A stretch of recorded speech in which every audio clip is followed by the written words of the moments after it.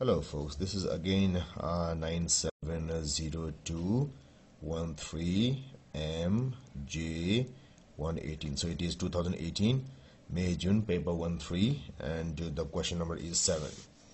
It says that two masses uh, large M and small m, large M, small m are connected by an inextensible string. So that means there is uh, no extension extension uh, no force is wasted on extension actually which passes over a frictionless pulley so no friction over here. Over here. The mass m rests on the frictionless slope rests. The slope is at an angle theta to the horizontal like this. The two masses are initially held stationary so we hold it stationary and then released. And when it is released it is found that mass m so this mass m moves downward so if it moves downwards, then mass m shouldn't be moving upward. Upward. So if so, which expression must be correct? So if it so happens, what we must have is uh, the force here, this force, this force should be greater than this force. If it is moving here, it is accelerating uh, from rest. So this force should be more than this force.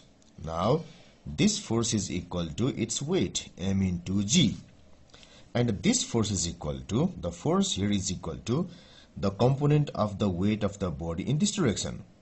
This force is equal to the component of this uh, this weight in this direction. And the, the weight here is mg.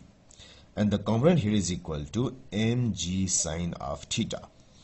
So it is actually a formula also and we have to know by heart as well if this is the weight of the body the component along the plane surface should be equal to mg sine theta if theta is the angle made by the inclined plane with the horizontal. So mg sin theta and here mg. So if it is moving downward we must have mg sine theta which is this force should be more than more than more than this mg.